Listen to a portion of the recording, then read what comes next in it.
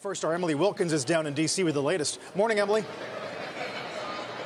Good morning, Carl. Well, AI is really getting the red carpet treatment on Capitol Hill today. You know, Capitol Hill home to a lot of meetings, a lot of issues. This is really unique. In less than an hour at 10 o'clock, right behind me here in the Kennedy caucus room, all 100 senators have been invited to meet with, as you mentioned, Elon Musk, Mark Zuckerberg, Bill Gates, a lot of leaders on tech and AI, as well as leaders from civil rights groups, from unions, to really start, or rather continue, a conversation about AI and what Congress's role needs to be. Now, this isn't the first hearing. It probably is the most blockbuster hearing with the biggest names. But Majority Leader Chuck Schumer has said that this is really about educating members. I know a lot of people don't think of senators as the most tech savvy. Uh, Senator Schumer is known for having his little flip phone, but he really wants to make sure that senators are comfortable with their knowledge of AI. Now, the actual legislation process is already underway in a number of different committees. Uh, yesterday, Senator Richard Blumenthal, Senator Josh Hawley held a bipartisan hearing on their AI framework that would require certain high risk AI models to be licensed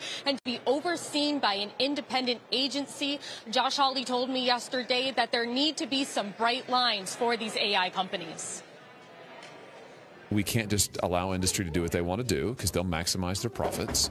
B, I think we need bright line standards that protect kids uh, that protect workers to make sure that uh, this technology actually enhances their wages, doesn't destroy it, protects uh, creativity and people's privacy rights. So I think we've got a long way to go, but we're learning a lot.